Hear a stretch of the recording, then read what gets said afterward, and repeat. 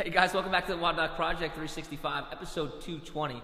Today what we're getting to is the posterior cuff, and it's a common point that I refer to as the CrossFitter's point. It's because it gets overstressed so much in the overhead position. I want to start out by showing you a little bit of anatomy. Now, that point is going to be right in this area right here, and you're going to see why in one second.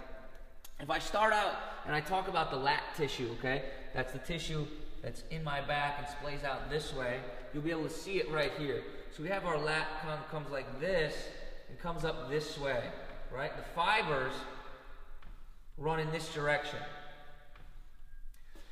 Now, we also have the posterior cuff. Collectively, we have what's called the teres major and infraspinatus. Now, those tissues collectively come up like this. Okay? So you can see these cross sections of this area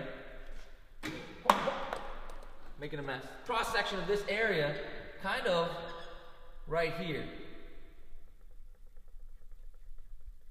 Somewhere in that area, we always kind of get to, tend to get gunked up there.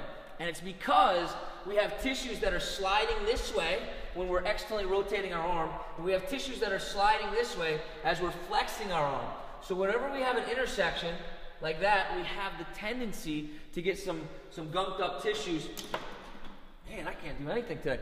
We have a tendency of getting some gunked up tissues. And how do we do that? Well, we're going to get a, well, how do we release that? How do we relieve that? We're going to get a ball, we're going to spend some time in there. And look at that, it even works on the whiteboard. so here's what we're going to do. We're going to take that ball, we're going to hold right here, and I got some couple keys for you, or a couple cues that might help you alleviate some of that pain. I'm going to show it to you down on the ground first. I want you guys to be able to see. We're going to be in a sideline position and we're going to try to hit that point that we talked about up there.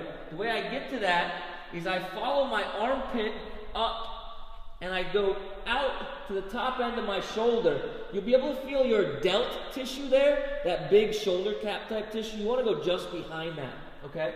And then we're going to be in a position that looks like this. I'll swing around for you so you have a better idea. So you already saw where the ball was, okay? I get that ball in that position right there. And I bring my palm up like this. And all I want to do is pretend like I'm combing my hair.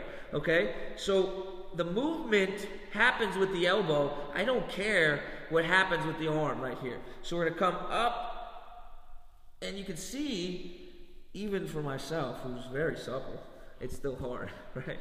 So we use this right hand or the, the top hand to modulate how much pressure is going to be put on the ball. And all we're doing is scraping our elbow up like if I'm taking my hair and slicking it back. I just watched the movie Grease a little while ago, so that's what gave me gave me this cue.